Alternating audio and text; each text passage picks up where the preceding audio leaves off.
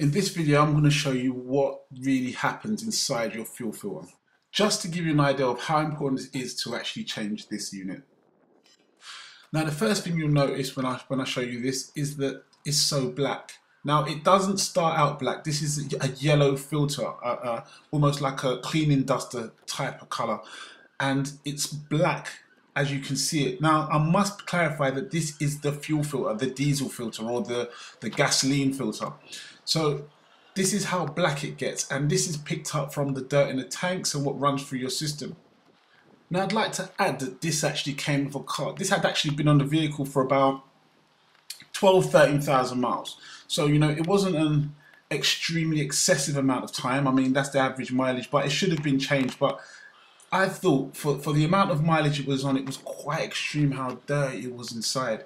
So, you know, all of this debris, because this cannot be filtering anymore. This cannot do a good job filtering if it's if it's as dirty as this.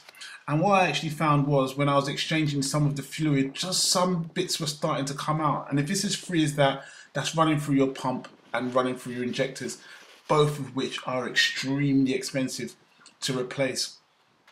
So as you can see, uh, I'm just getting it out here and you can, there's that yellow band and that's, that's where the glue holds the filter together. Now the yellow band is the color it was when it first started. And look, as I'm putting it out, you can just see that this could be an oil filter. That's that. That's how bad it is. It's actually the same color as oil. This is not doing anything for your car anymore.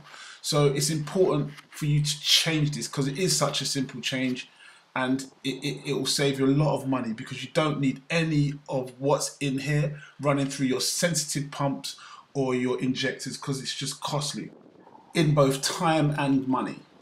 So now you must know what's going on. Make sure you change these filters because it really is an easy change. It takes like 10 minutes and it'll save you lots and lots of money.